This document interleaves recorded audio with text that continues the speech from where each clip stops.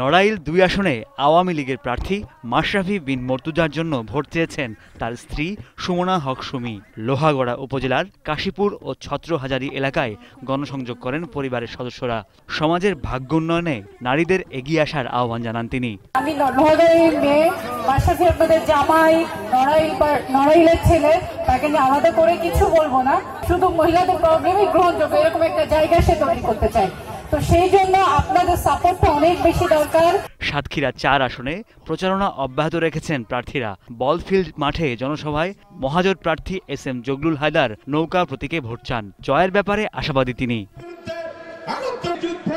সিরাজগঞ্জ পাঁচ আসনে আওয়ামী লীগের প্রার্থী মমিন মণ্ডল নেতাকর্মীদের নিয়ে জোর প্রচার চালান। উন্নয়নের ধারা অব্যাহত রাখতে আবারও নৌকায় ভোট চান তিনি।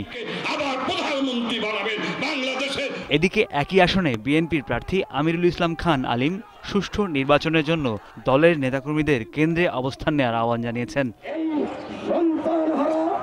বরগুনার তালতলি উপজেলার সোনাকাটা ইউনিয়নের লাউপাড়া বাজারে পথসভা করেন বরগুনা এক আসনের আওয়ামী লীগ প্রার্থী অ্যাডভোকেট ধীরেন্দ্র দেবনাথ শম্ভু। ব্রাহ্মণবাড়িয়া তিন আসনে গণসংযোগ চালিয়েছেন জাকের পার্টির প্রার্থী সেলিম কবির। শেরপুর এক আসনে বিএনপির প্রার্থী সানসিলা জেবরিন এবং আওয়ামী লীগের প্রার্থী আতিউর রহমান আতিকের কন্যা ডক্টর অমির গাড়িতে হামলা ভাঙচুরের ঘটনা ঘটেছে। পৃথক দুটি ঘটনায় জিজ্ঞাসাবাদের জন্য দশ জনকে আটক করেছে পুলিশ।